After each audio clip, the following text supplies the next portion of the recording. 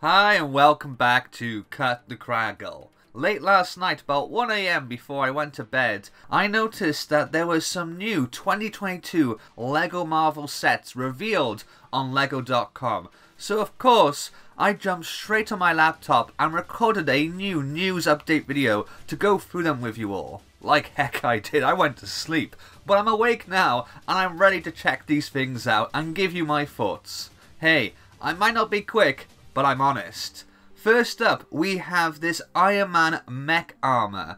And yeah, we've had one of these before, but this one is a bit different. Mainly, this has a lot more gold going on. It feels like a remake to me. It definitely has a few new features. It's got this weird shield thing, and it has the new stud shooter, which I'm still not sure about. The biggest draw for me though would be the new Iron Man figure, and it's interesting to see that they've used a gold base for the torso and legs. But one thing I have to say, what is up with that face print? Well, not face print, the helmet print, but it's kind of like a face because it has an expression on it. Just look at that and tell me that you don't instantly think of the grumpy cat meme. I mean, come on Iron Man, why so sad? Anyway, there's a couple of mechs, one of which is Black Panther. And do you know what? I think this might be my favourite. It's not particularly interesting. In fact, it looks a bit skinny. And why exactly does Black Panther have a mech? I don't know. But I like the minifigure. I like that we got T'Challa face print. We did kind of get one, oh, we did get one, in the minifigure series when we had T'Challa as Star-Lord, but it's great to get one of him as Black Panther. The torso print looks awesome. I think that's a new one. I think I might pick this one up. The most surprising one, though, is the Wolverine mech armor. It's been a long, long time since we had any Wolverine or X-Men minifigures or sets. I think the last one was a Mighty Micro set. But yeah, we have a new Wolverine set coming in 2022. January 1st, 2022, these sets are released. I would say that I think this is going to tie in to the upcoming X-Men 97.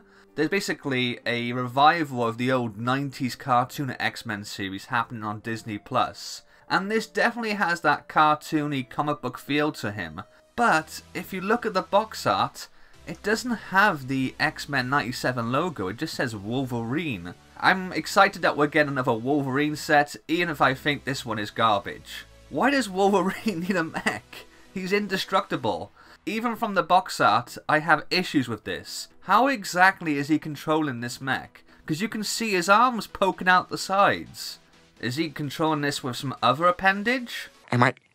am I supposed to conduct with my penis? Those are the three mech armor sets. They're going for $8.99 each, or they will do. There's another LEGO Marvel 22 set that's been revealed, and oh my gosh, is this one hideous. What on earth were they thinking? It is an Iron Man figure. That's what it's called. It doesn't even have the word buildable in the title. The official title is Iron Man figure. Wow.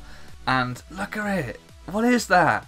is this meant to be a UCS set? Because it has like the plaque, right? But it doesn't have a minifigure to go with it. And it's only $34.99. I don't know what this set is. It's bizarre. This is a hard pass from me. In terms of the free mech armor sets, I don't know. I, I like them and they are pretty cheap. But the main draw for me is the minifigures. And living here in the UK, what tends to happen is the minifigures in these Armor Mech sets become freebies with the LEGO Avengers magazine which I get. Let me know what you think of these new LEGO Marvel 2022 sets in the comments down below. Don't forget to like, subscribe, turn on notifications, all that jazz, and I will see you next time. Laters!